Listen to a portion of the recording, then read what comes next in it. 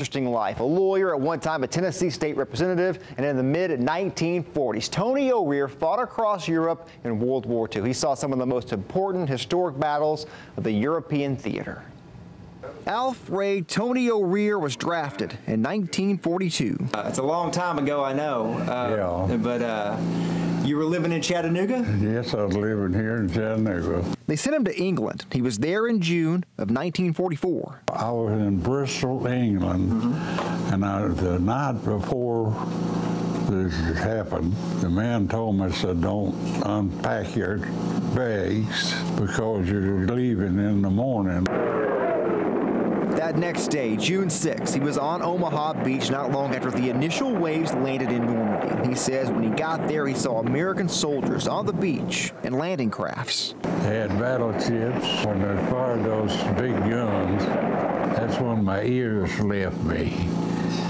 And that's why I'm so hard of hearing today. He survived D-Day and fought across Europe for the rest of 44. Normandy, northern France, Rhineland, Central Europe, he says he saw what looked like an army of Germans surrender in northern France. And that's an orange cross taken off of German soldiers. And that's a buzz bomb. A buzz bomb.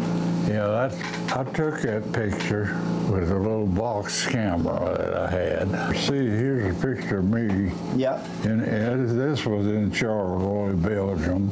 He was in Belgium when the Battle of the Bulge started. He fought in the cold there for the six weeks of the battle. Then he marched into Germany. We were about five miles outside of Berlin, and they told us that the uh, Russians were going to take over our spot, and they wanted them to go in first so we backed off. He said when that happened, his fighting was over. They put him on a Liberty ship and sent him home. I asked Mr. O'Rear what he was most proud of from back then. I'm proud to be with the greatest army in the world.